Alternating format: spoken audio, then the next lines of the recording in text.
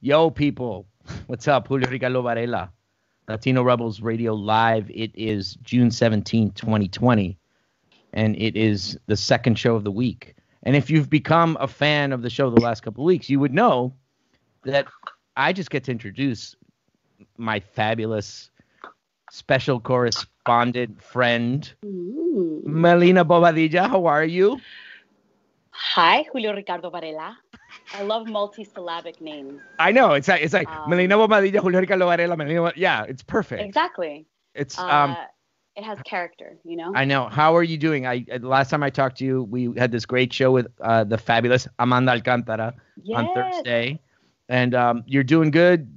Everything. I'm doing great. Um, Yeah. You know, I have everything that I need. Uh, the world is shifting in many ways, as it should be, yeah. and I'm, I'm just watching that, contributing, um, memeing, posting, arguing, hating. uh, Doing your thing. but So listen, good, uh. So uh, it's your show, special correspondent. This is my favorite part of the week because I get to just like sit back and watch an amazing conversation. So let me turn it over to you, and then you can introduce our special guest. Yes. Thank you so much. Hello, Latino Rebels live show listeners and followers. Thank you for coming back. Thanks for showing up on Wednesday. You heard Julio. He said this is my show. So we're about to get this party started. DJ? Just kidding. I don't have a DJ here yet. Um, I'm really excited about today's guest because um, she's a brilliant author, an amazing thinker, storyteller, and I like to fancy myself and and call her a friend also. And I think something that I love about our friendship is that it's a very millennial 2020. Um, I think that we we have a long distance friendship, and we've able to we've been able to cultivate that um, across multiple technological platforms. So, without further ado, the amazing Kali Fajardo Anstine. Uh, she's in Denver. She wrote Sabrina and Corina, which I'm sure you've seen all the buzz about. I found out a bit from uh, Yosimar Reyes' book club. So shout out to Yosi. And um, she has a myriad, long list of awards that that and accolades that this book has been recognized for. And really, something that's super super notable is that she was a finalist for the National Book Award, which is huge. So welcome, Kali Fajardo Anstine. How are you? I'm great. Hi, Melinna. I, I also fancy you a friend. We sound quite you. Victorian, don't we? yes, yes. It's a little golden girl humor. yes. So, um, thank you so much for being here. You are on Mountain Time right now. You're in Denver, and uh, I just I want to start off by really talking about uh, and highlighting your positionality right at this moment. So, if you saw our announcement for the show on social media, it's uh, writing in the time of anti-racism, anti-racism, uh, or writing as a tool uh, towards being anti-racist. So, with that being said, let's go to that idea, that, that idea of your positionality. What's the the social and political context that you've grown up in that has shaped you, um, and how are you responding to this moment in time with that? Yeah. I mean that's a it's a big question and there's some there's so many layers to unpack. But I, I think I'll start with just what was, you know, my driving impulse to write and understanding that my family had faced generations of injustice. And I think that was something that I knew from the time I was a little girl, from witnessing, and also just from hearing the stories. And I knew I wanted to be a storyteller forever. That's just like, that Mhm. was just in my DNA. Um, and when I really started, you know, reading lots of literature, I was in middle school and high school, and I was consuming all these books, and they were all written by white men, and I wasn't seeing the people that I had come from in Colorado in these Mhm. books. And so I I really started writing as a sort of one I was obsessed with craft and I loved literature and I wanted to I wanted to contribute and be part of the world of books. But 2 is like I wanted to provide this sort of activism where I was going to center our lives as Chicanos from Colorado from southern Colorado from northern New Mexico who are incredibly mixed who have indigenous roots. I wanted to center those lives and put them into literature and also like give them full um, full bodies and you know consciousness and mm-hmm. have to have them be contended with as full characters. Right. So along the way of that process, I really faced a lot of challenges with people turning away the work. And that's where my positionality came from is that I, I became you know, pretty radical in that, you know, we mm-hmm. have to be anti-racist if we're right. going to if we're ever going to have the true breadth of what our artwork and our technology and our knowledge can provide we mm-hmm. have to start seeing every single human being as a full human being and yeah i'm I, am i am positioned on the side of like yeah there's some some very bad things that have been plaguing this country since its inception and before that with colonization and i hope that through my work some of that can be reflected. But I also hope that we can take some of this knowledge and this information and we can start rebuilding pathways that will provide more equality, more justice, and more right. community. And I, I like to do it through storytelling. And mm-hmm. I'm, I'm really happy that I was given that gift from my ancestors. Right. That's so beautiful. And I think that's one of the most powerful things for me as I've experienced your work um, and really journeying honestly with your ancestors and, and with your um, the way that you capture memory and the way that you really root it not only in ancestors in that spirit, but their connection to the land. So um, I've always found, you know, in my experience reading your books, that that the the land that your family and and uh, your your ancestors occupy that are, are rather um, shaped and and live in uh, is another character in your yeah. stories. So, can you talk a little bit about that? Um, what is what is unique about where you grew up? What uh, what makes it different, um, and and how does that inform your work? Yeah, so I think it's like a two part question. So the work itself, Sabrina and Corina has 11 short stories, and they're all set in Colorado, which was pretty i mean it shouldn't be radical but it was pretty radical yeah. to set a book about latinos all in the state where i come from because i just i'd never seen it before. Um, right. and so they all come from colorado. They're all set in denver or there's a fictional town that i've invented in southern colorado that i work with a lot. And it started off as like a natural thing that i was building toward. I didn't know why. I was just writing these stories that were set in mm-hmm. our land base. But over time i started to understand that I'm a placed person. I am a person who is embedded in the inception of the Southwest. My my great grandmother's people were Pueblo people um, from the Picuris Pueblo, and she was mixed, you know, with European and you know Mexicano, but she, you know, she came from the land base that I'm still in. I'm not that far away from it. Um, so it was really I wanted to make sure our connection to the land was visible and mm-hmm. palpable. Mm-hmm. Um, but in terms of how did I get to the point where I was writing a book about it? Like, what was my life growing up here? It was really interesting because, you know, I grew up. Uh, my mom is a big activist in Denver. Her name is Renee Fajardo. Um, I grew up in Aztec, you know, danza. I grew up around a lot of, you know, art activists, community activists, and we were all Chicano, and we were very proud of that. Mm-hmm. But at the same time, I didn't get a lot of education about. Wait a second, like why do we all have similar last names? Like, what is our common lineage from the pueblos of northern right. New Mexico? Why do we eat similar foods? Why are the beans the same? Why is the green chile the same? Why are enchiladas yeah. the same? You know what I mean? Like, it was just this very like, wait a second, because we're a community. and then I started to understand, oh, and they've never once mentioned us in my public school education. Right. I was never in my textbooks. I right. never saw any reference. Oh, by the way, there are these people that were the original inhabitants, and they're still here in their mix now. Right. Um, and so I think with my work, I'm trying to explore storytelling and I'm trying to write good literature, but I'm also trying to show you there is very ancient people that have been here for a very yes. long time, and we're still here. Right. And and the the ancient people, as you say, that have always been connected to that land, that geographic point of the earth, were there before uh, different nation states claim, laid claim to the land. Um, and and so I want to go back to this word, um, this idea of of that mixture, right? Of of being mixed. So talk about the way that you you identify, um, because you know I'm a Chicana from Los Angeles, born and raised here. And I know that our experiences are very different, but there's still something that is really unifying.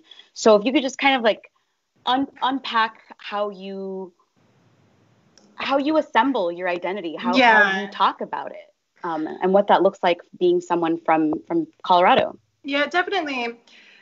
So I think that I think that one of the the earliest questions I would ever get when I was growing up, especially from Anglo's, um, was what are you? What are you? What are you? You know, they would look at me and they would say, oh, this person's not. This are you a tree? yeah, like what is this person? Yeah. And so I was positioned early on to have to explain what I am. Right. And I had a lot of knowledge of what I was because I was still around my people. I'm still around them to this day. Um, so here's what I am. My great grandmother right. was a person who was indigenous. Um, she had a European miner father who abandoned the family. There were eight children. Um, they eventually migrated north to Denver in the 1930s. They laid down roots and they started living in the west side of Denver and they started living in the north side, which are historically now, these are still neighborhoods that are Latino um, and they're being gentrified. Others came into my line. My great grandmother married a man from the Philippines. My mother married an Anglo man from Nebraska. And so I am an incredible mixture of people, but I still grew up with a primary Latinx identity with our food and our storytelling. Mm-hmm. Um, but I was not I was not removed from the mixture and the mestizaje. Right. You know, I wasn't removed right. from it. And so I didn't really feel like when I was growing up, I didn't know that there was a lot of us who shared these similar characteristics. Because I think, you know, we talk about divide and conquer. One of the things right. that happens with divide and conquer is, div- you know, you can assimilate, you can force people to assimilate, right. and then they don't have access to each other anymore. And it's only through publishing Sabrina and Corina that I have been able to meet others who are telling me, my great grandma was a Gallegos um, she grew up in the San Luis Valley. I'm yeah. also part Filipino. My great grandfather was a, a, farm worker, just like you know your family members. Mm-hmm. And I'm like, this is blowing my mind that it was hidden from me and that I didn't have access to this kind of unity before. Right. Um, so yeah, I come from a very complicated mixture, but at the same time, I think a lot of us who come from this part of the Southwest, they come from this sort of history of colonization and this history of mixing. Mm-hmm. So you know, you you said that you were consistently questioned, right? That your your identity was immediately read as as other, right? By virtue of someone asking you, singling you out because of your the way that you walk in the world. Um, that in and of itself, um, I think if you step back and look at it, you don't really have to step back. It's pretty obvious. That othering um, is really rooted in, in a white supremacy, right? Like your your identity your existence is not the norm or it's not um, the it, it, it's it doesn't reflect what others who hold power historically look like right? Um, nonetheless valuable and and and integral to i mean to that to that that land. Um, but i think that gets me thinking about this idea of of you as an, an anti-racist uh, writer, a, a, storyteller, and I know that we, you know, we talked about that. We, we've had conversations unpacking that idea. Well, am I anti-racist? And I think that just forgive my uh, my headphones, uh, they're on strike today. But I think if we unpack that that idea um, of being intentional, being anti-racist, uh, letting that lead in how you how you tell your stories, how you do your work, and also i mean even you know we, we, I, I can't discount the importance of honestly like a social media presence and i know mm-hmm. that probably a lot of your fans because uh, you have droves of fans on social media are watching the show for the first time because they want they love to hear you speak so um, i want to talk a little bit about that and, and, and kind of pivot there um, so you mentioned also that you didn't read stories not not only in school in history books mm-hmm. about people like you and your family um, but do stories like like the ones that you've written in Sabrina Corina do they exist a lot in, in fiction world? Do we see that in, in the lit world? What's, I think what's been your experience there? I think not not yet as much, and I, I hope that my book can um, create more pathways for more books like mine to get published. And I I didn't have a very easy time getting the book published, but once it was published, it, it had its own life. Right. Um, and so I'm hoping that because the, the gate's been opened a little bit, more can come through. Right. But in terms of what kinds of work that I saw that did reflect um, this complicated mixture, yeah. um, and you know, influenced you, yeah. and influenced me. So obviously, like I'm very influenced by some of the ma- you know the major Latinas like Ana Castillo and Sandra Cisneros and um, Helena Maria Viramontes, but I'm very very influenced by Black writers, African American writers. Toni Morrison's Beloved taught me in you know insane amounts of information about how to research my people and how to put that into storytelling. Right. Edward P. Jones's short story collection Lost in the City, which focuses on African Americans set in Washington, D.C., is without that book, there would be no Sabrina and Corina Uh-huh. because it taught me how to tell the story of a city from different vantage points, from different characters. James Baldwin's work um, significantly influenced me.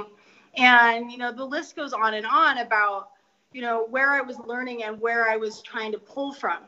Yeah. And I think um, I really, I do like to, to talk about, the, you know, the African American writers and their influence on my work because in some ways it, it gave me gave me so much um, knowledge that I didn't know was possible. I didn't have to center a white reader. I could Mhm. just tell the stories the way that I was experiencing them.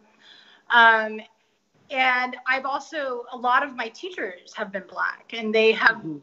really helped me and found me different resources and connected me to other writers of color, black and indigenous writers. And so, yeah, it's I'm hoping that because my work exists now and because there's other work that's like mine, um, that we will have more and more of it. And I used to joke when I was younger that, you know, I was maybe I was sort of ahead of the trend by being so mixed, you know, and like Mm. America will get there. But I don't think that's true. I think that people like me were just hidden. I think that it was too complicated for the American narrative. I think Right. that we would we were given that idea that we were a melting pot. Right. Not you, you know, you come into the melting pot and everything sort of disperses and you can't see the different parts anymore. right. Um, and so what that does to somebody like me is it it tells you that you can't be all the things you are. You Right. have to meld into something new. And I just I simply reject that. I can be the things that I come from. I can represent all of these different elements, and so can my storytelling. Right. And I'm I'm always just so moved by how you know how many people connect with it across cultures and uh, you know across regions. Yeah. Um, so you know, I, I just I have to take a moment because um again in in this spirit of of kind of leading with this idea of anti-racism and holding space and you being someone that holds space in the literary world and as a storyteller um you know you're you're also you're a historian i i, I think i don't know if you call yourself that but, but i feel like i get that when i read your stories um, because the deep research that you've done that is connected to the history of the land is there. But also i, I what i was going to say is i i, want to take a moment and really i want to highlight honestly like the trajectory of your book. Um, and I, I i have to honestly like i, I want to list some of the, the awards that you've been that sabrina corina and, and you have been um, nominated for. So you're a finalist for the PEN Bingham prize uh, and the Story Prize. Uh, you're the 2019 recipient of the Denver Mayor's Award for Global Impact in the Arts. Um, your essay, just your newest essay, which is super exciting. Short, and- short story. and- sorry, Short story. short story, yeah. not Lit World. Um, just appeared in Oprah magazine on Sunday, which is huge.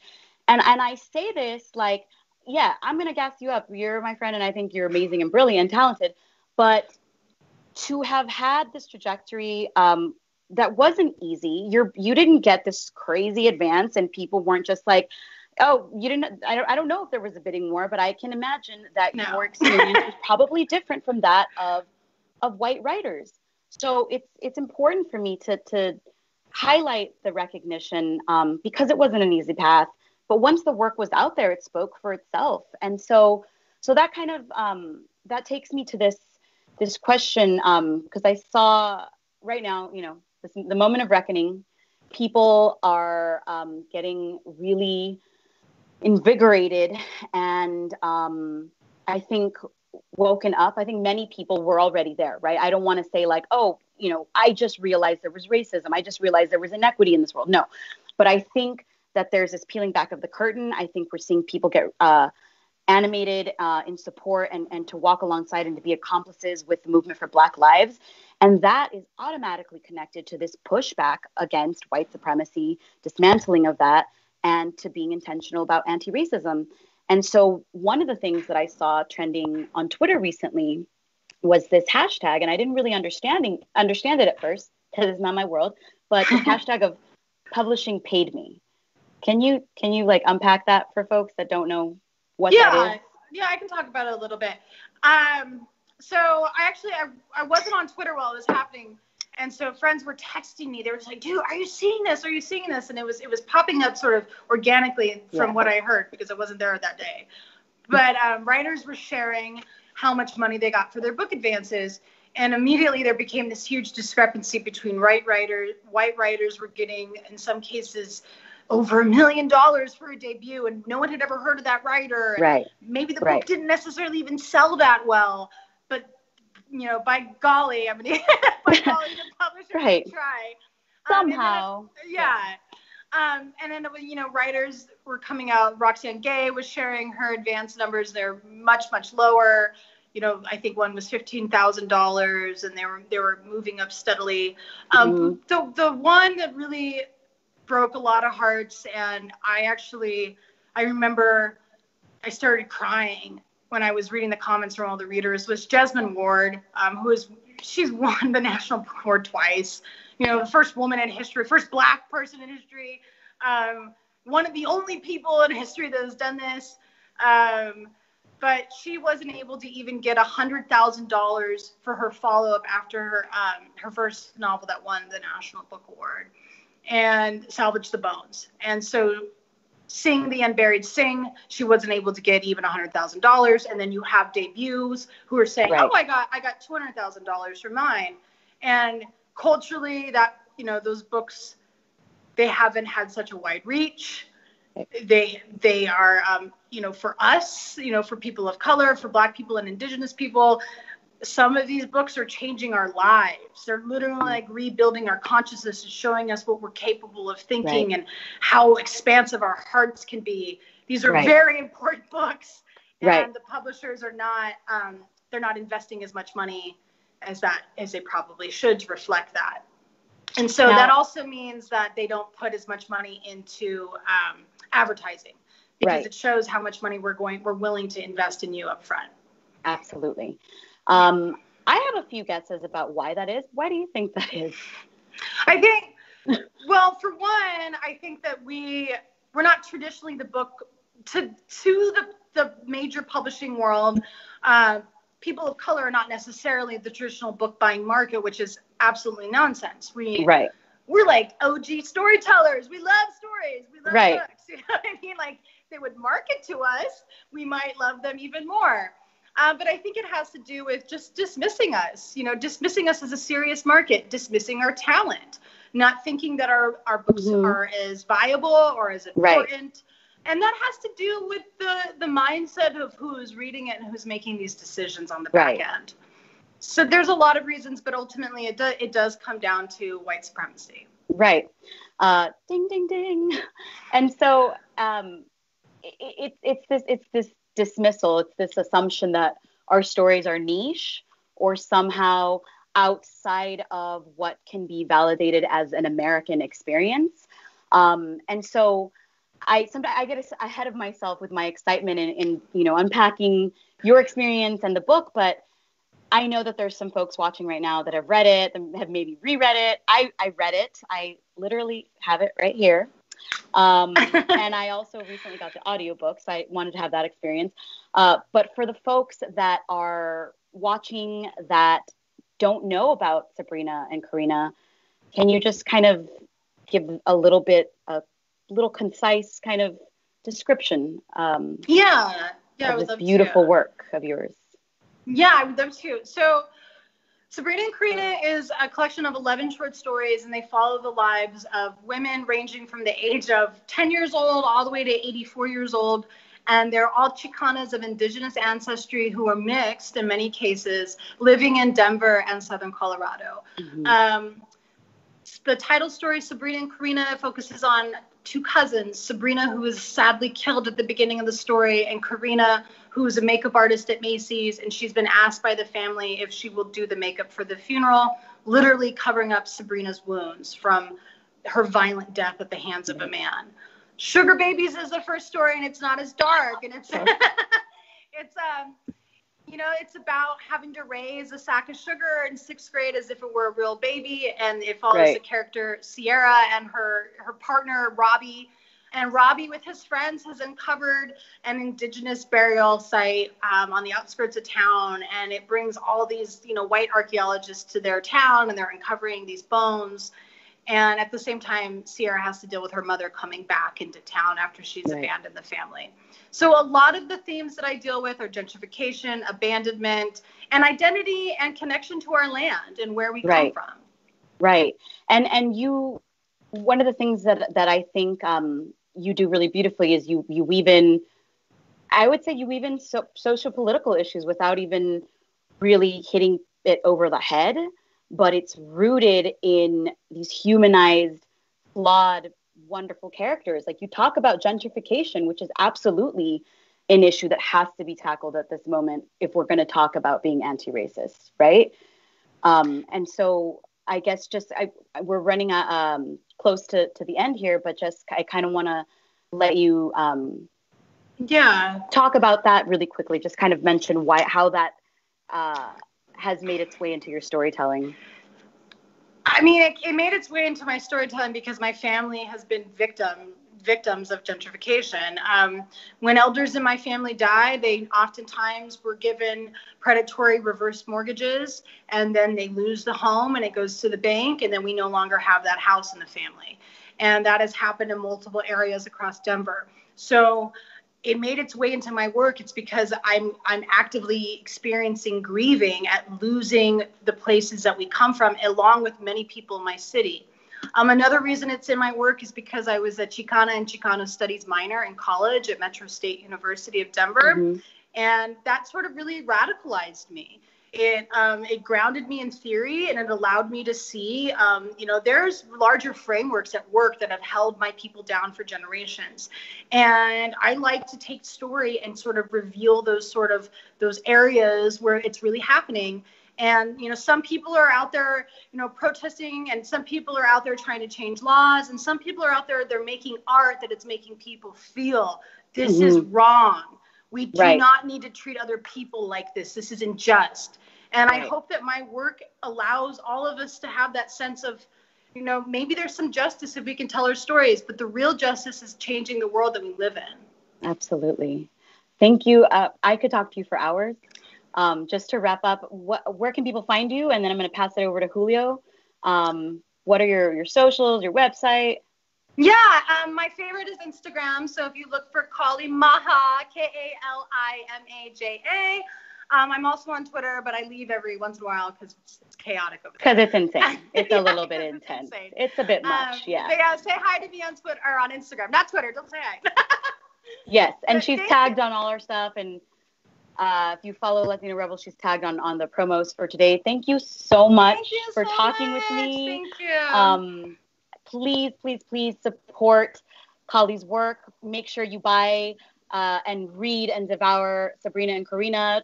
Try to get it at a local bookstore. Order it online from a local bookstore if you can. And uh, we will see you on the worldwide internet. Passing it back to Julio. Thanks, Kali. There you Bye. go. Thank you, Kali. And thank you, Melinna. And thank you guys for a really uh, fantastic conversation. I learned a lot. I, I like I said, I love Wednesdays. I just sit back and watch and watch Melinna just roll with it.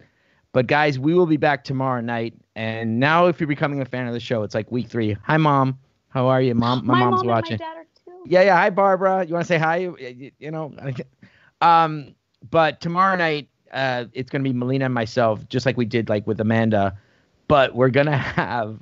Oh my God, I can't believe him. He said yes uh, Julio Salgado is going to be on, and Julio is I've known him for ages, and uh, and fantastic guy. So anyway, we will be back tomorrow night at uh, 10 p.m. Eastern, 7 p- 7 p.m. Pacific. And uh, thanks for all the love, guys. Thanks for all the comments.